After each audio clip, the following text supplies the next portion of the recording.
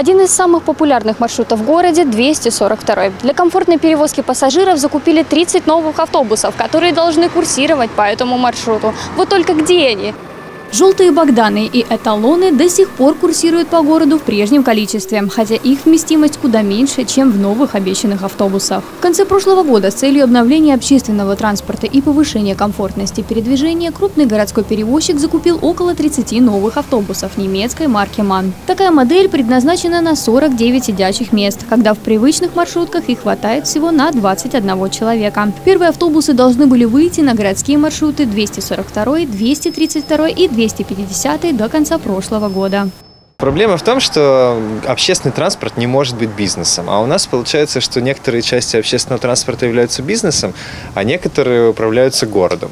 И, естественно, бизнес берет себе только те куски, которые, на которых он зарабатывает. Например, это не могут быть ночные рейсы или какие-то малопопулярные маршруты, но они должны быть.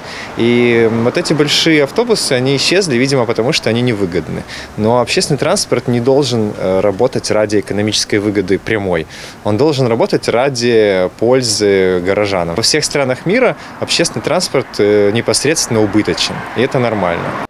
Чтобы проверить реальное количество новых автобусов на дорогах, много не нужно. Всего лишь жить в отдаленном районе и попытаться попасть в транспорт в утренний час пик. Для того, чтобы узнать, курсируют ли такие автобусы по городу, мы вышли на остановку. Правда, в дневное время. Спустя 30 минут ожидания на горизонте появился тот самый большой автобус. Только по всему городу, несмотря на обещания, они похожи в меньшинстве. В диспетчерской на конечной станции маршрута рассказывают, что таких автобусов много. Вот только где их искать, никто не знает. У нас большие автобусы есть. В каком количестве? Ну, пока что еще немного, но они выходят сейчас уже на 190 большие автобусы угу. будут. А по каким маршрутам они ходят? Наш 190 242 но еще не ходят, но будут ходить сейчас угу. регулярно. Так что с кондиционерами, со всеми удобствами для пассажиров. Некоторые водители маршруток отвечать на наши вопросы отказались. Мол, транспорт устраивает, и люди не жалуются. Нема столько пассажиров, чтобы жаловались. у нас потока пассажиров нет, все уехали за границу сейчас. Да где ж куча людей из поселка Котовского, вы же сами знаете. Но нашлись и те, кто не побоялся выразить свое недовольство. К транспорту, может быть, и привыкли, но от нового точно бы не отказались. Новых автобусов, они как бы, их нету.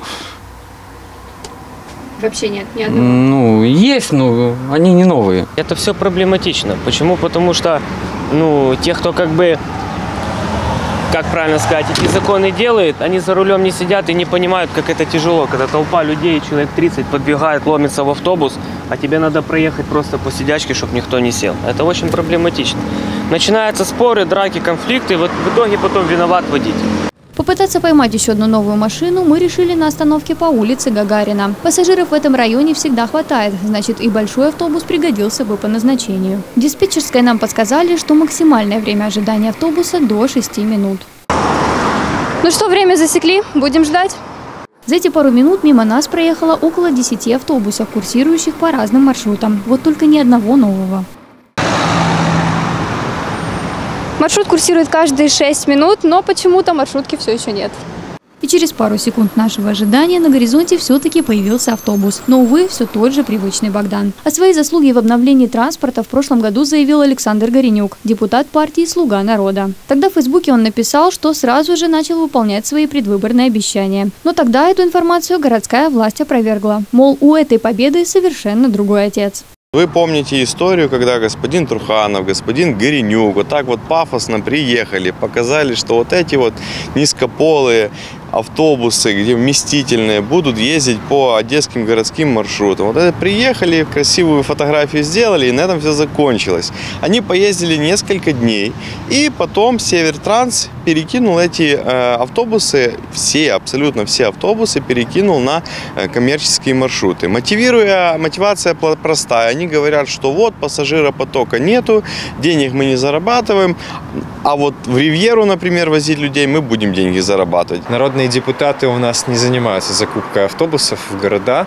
э, вообще это частное предприятие. То есть, ладно, если бы это еще были какие-то муниципальные автобусы, то это можно было бы переписать муниципальной власти местной, мэрии. Но здесь народные депутаты принимают законы. Вот и все, что они делают. Он не может принять закон, которым обязать частную компанию купить автобусы. Ну, это абсурд. Несмотря на разговоры, количественно ничего не изменилось. А для комфортного передвижения по городу необходим не только новый транспорт, но и правильная сеть маршрутов, которая бы учитывала интересы каждого пассажира. Как скоро все нужные городу идеи будут реализованы – большой вопрос. Татьяна Барумбей, Константин Нищерет, телеканал «Репортер».